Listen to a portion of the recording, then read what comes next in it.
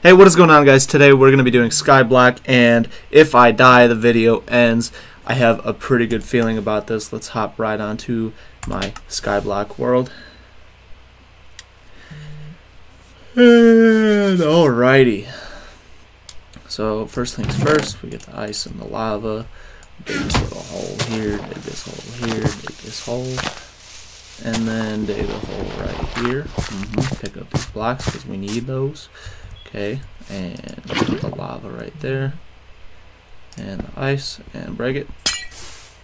Okay, now we have cobblestone. Now we need to break this tree so we can make an axe.